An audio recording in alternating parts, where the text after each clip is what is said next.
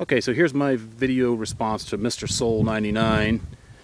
Uh, super simple tomato cages or whatever it was that he called them. I made mine just like he did, all the way down to using the F-clamp with a hole in it. I actually had an F-clamp with a hole in the end of it. Super simple to make. The only thing I did a little different, I made the first one exactly like his and it just turned out to be a little too small for my tomatoes. I made mine 3 by 3 by 3 instead of the 3 by 2 by 2 And as you can see, plenty of room in there for the tomato to, to grow, but still lots of support. And here's the, this is a 3 by 3 by 2 one. I had a little bit left over and tried to make the other one a little bigger.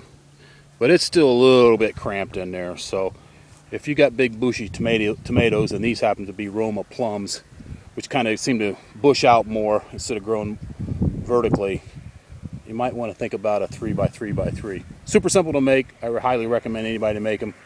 $5 at Lowe's, and that was 4 something at Lowe's for the panel. Perfect.